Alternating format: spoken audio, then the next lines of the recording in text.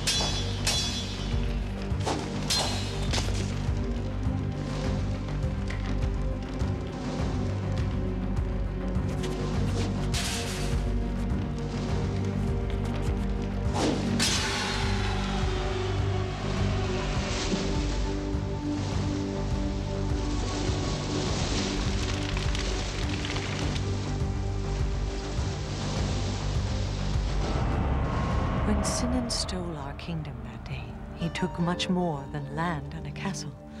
He took our innocence. I wonder if I shall ever be able to trust in the goodness of the world the way I once did. Yes, he has left his mark on all of us, I'm afraid. We've all changed. And some of us, I'm happy to say, have changed for the better. Yes, our headstrong boy has grown into a heroic young man, hasn't he? Well, if I'm a hero, shouldn't something be done to honor me? Don't worry, my boy. The preparations are already set to begin first thing in the morning. No, no, no, no, Mother, please. I was just joking. I don't want a fuss. There is to be no party. I refuse to have one. That's all there is to it. And since when, Valiant, does a prince give orders to a queen? Ah, yes. It's good to be home.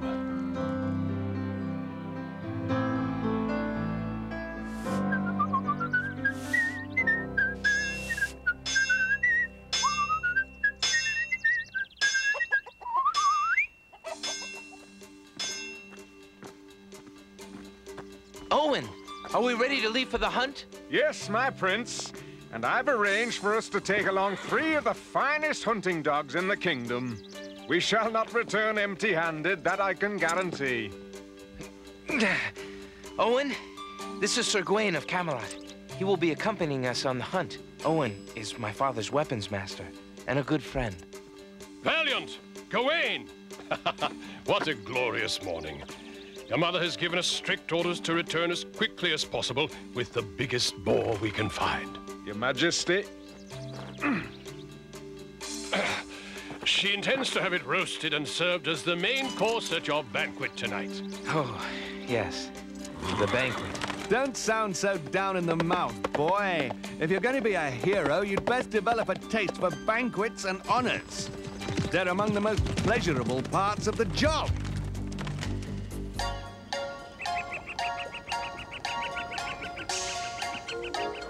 He's heading towards the river, Valiant. I see him, Gawain. Don't worry, I've got him.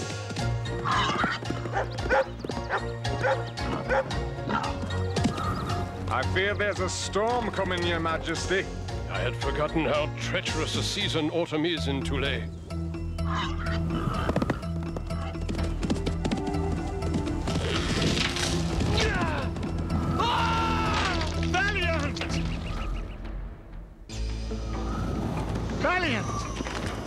Valiant, can you hear me? Gawain! Help! Hang on, Valiant! Hang on, boy! Gawain! Steady, boy! It'll all be over in a minute! Climb, Valiant! Quickly! Come on, boy! Come on! Ah! Climb, Valiant! Climb!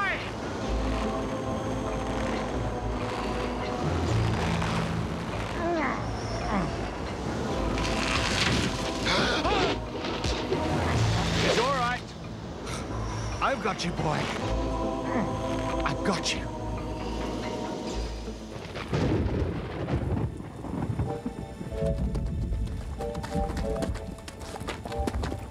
That was a nasty fall you took, boy.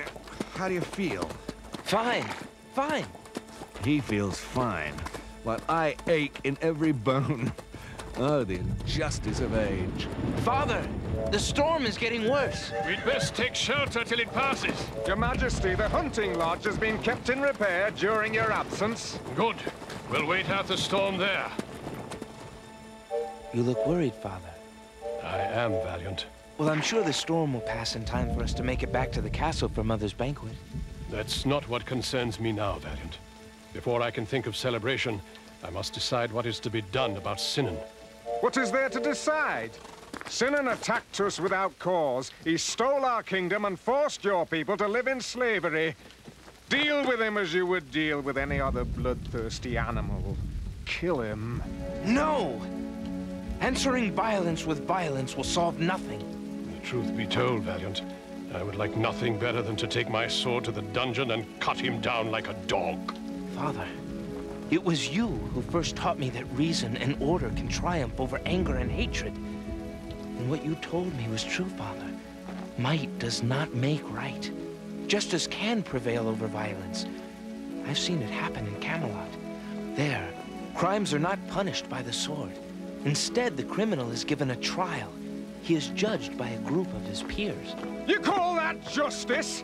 Giving a murderer a trial instead of an arrow through the heart? An arrow through the heart is what Cynan gave my wife and my son. Don't you speak to me about justice, boy.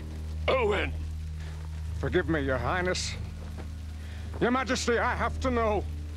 What is it you intend to do with Cynan? What is right? I must allow him to stand trial. Then I must disavow my loyalty to you, my king, and I must seek justice elsewhere. I hate autumn. It is a wicked season, a harbinger of endings and decay, a time when fullness is past and passion is slipping into memory. It is a stealthy hand, stealing away the heat, fading the glorious colors of summer, leaving in their place loneliness and heartbreak.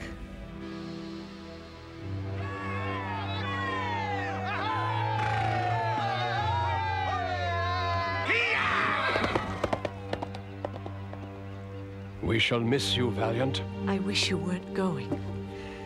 But I know that at Camelot, as a knight of the Round Table, you will make us all very proud of you. Mother, I'm not a knight yet. But you shall be, soon. If Arthur is half the man you describe him to be, he knows that knighthood is your destiny, and that the time has come to fulfill that destiny. I love you, Mother. Valiant, we must set sail immediately if we are to complete our journey before the next storm arrives. Goodbye, my boy.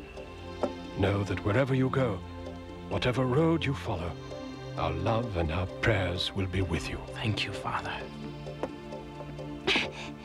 For you, Your Majesty, from the people of Thule. He's going, Willem, and we may never see him again.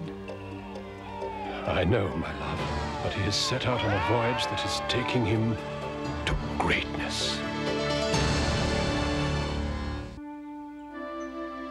The king has sent a coach to fetch them home from the coast. Doing that is not going to make it any faster, boy. I know, but I need to see Valiant and the others the minute they come over the hill.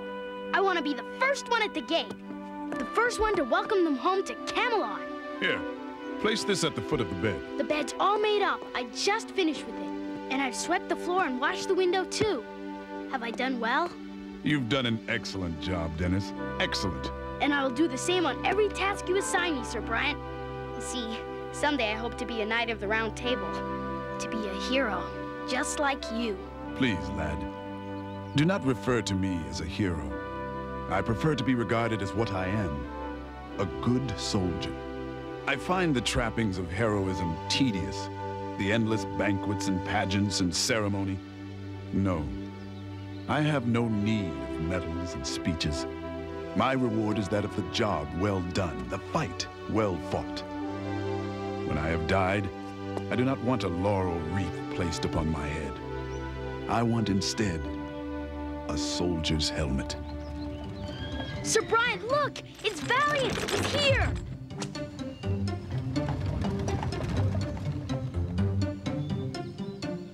Valiant! Valiant! What took you so long getting here? I've been waiting and waiting. I want to hear all about the battle and how... I'm afraid that will have to wait, Dennis. Right now, Valiant has other business to attend to. Yes, I must see King Arthur right away. I want to tell him about our victory over Cynan. He is already aware of it. But how could he possibly? I sent word back via carrier pigeon days ago. Even so, I'd better see him. I'm sure he'll want to hear the report firsthand. No, Valiant. King Arthur does not wish to see you now. You are to see him in the throne room at six o'clock this evening. Those are his orders. We've been gone a long time. It's good to be home. Uh, I'd almost forgotten how chilly it can get in here. I'll start a fire. Place seems empty without Valiant, doesn't it? Why do you suppose he wasn't allowed to come home with us? Why he has to stay at Camelot until it's time for him to see the king? You know why. Yes, I guess I do.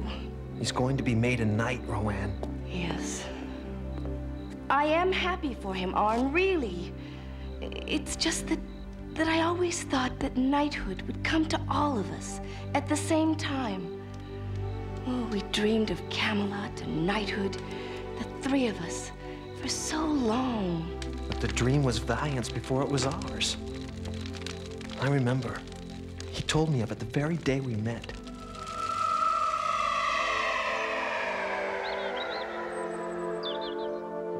Hmm. A meal fit for a king.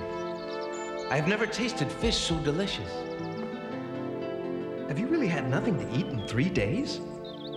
Four, actually, if you count the day I left my home in the marsh. I happily filled your grumbling belly when it was empty. Why do you repay me with lies? This is no hand hailing from a marsh. It's unlike any I've ever seen. It hasn't a single callus. It could be you're a thief. You'd best think again if you're a highwayman come to rob me of my worldly goods. A highwayman come to rob you? Certainly not. I am a prince, and I am in search of Camelot. By any chance, might you know where I could find it? I've never heard of the place. It seems as if so little time has passed. And now so much has changed. But we'll never change, Arn. You and Valiant and I will always be together. Now, come on. We have to get dressed. Sir Brian said we had to be back at the castle by six o'clock, and this is one ceremony I don't think we should be late for. Oh my goodness. It's so beautiful. It shines like the sun. Have you ever seen such a tunic? No. It is yours, Valiant, to wear beneath your armor when you see the king. When I become a knight of the Round Table.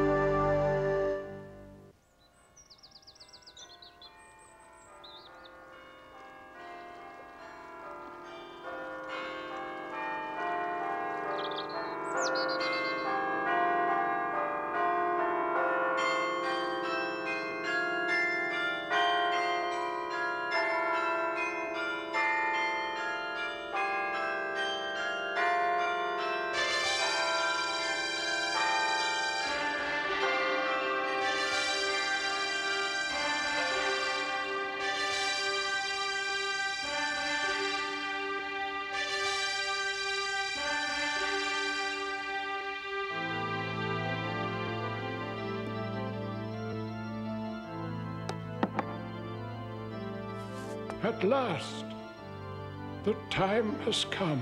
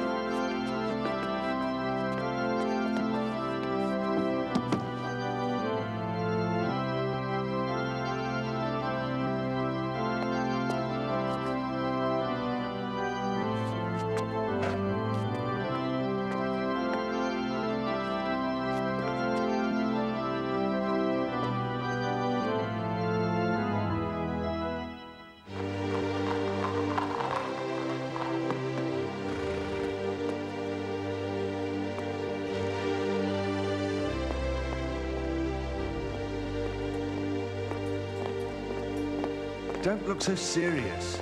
Smile, boy. This moment is one you will never forget, Valiant. You are about to be honored as a soldier and as a man. To be recognized as one of the bravest and best. Yes, think about it, boy.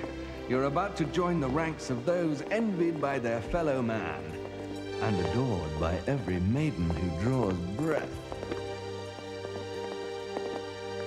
Well, boy, are you ready? I hope so. With all my heart. Wait here, Valiant. A page will come for you when it is time.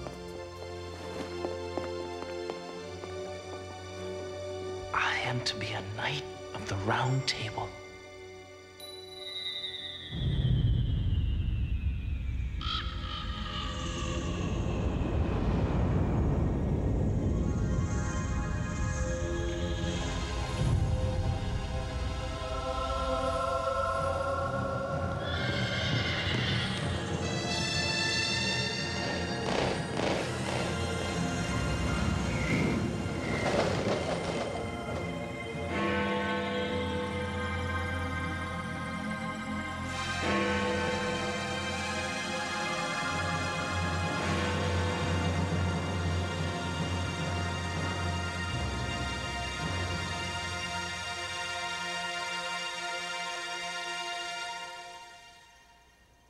From this moment forward, you shall be known as Prince Valiant, Knight of the Round Table.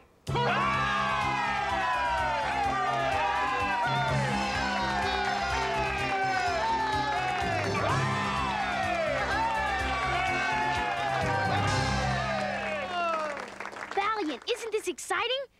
To be leaving on our first quest already. To soon be going into battle. Just wait. You'll see. I'll be the best squire a knight ever had. And someday, I'll be a knight too. A sword at my side, riding into the thick of battle, cutting the enemy down with a single stroke. To want to be a knight, Dennis, that is a fine and noble dream. But as for battle and killing, there is little beauty to be found there. Only pain and misery. But Valiant, without fighting, how do we stop the wrong? I wondered the same thing when the messenger brought this to me. It says that Sir Mordred is amassing an army, and that he may be planning to attack Camelot someday. Yes. And that he is gathering his army with Owen's help. Owen? My father's old weapons master. He was once a friend of mine. Well, come, Dennis. It's time for us to go. Your troops are waiting for you outside the gate. You'll do well, Valiant. They're a fine group of soldiers, handpicked by Sir Gawain and Sir Brian. I will do well because I have been taught well. Thank you, Merlin. Go with God, young Valiant. Go with God.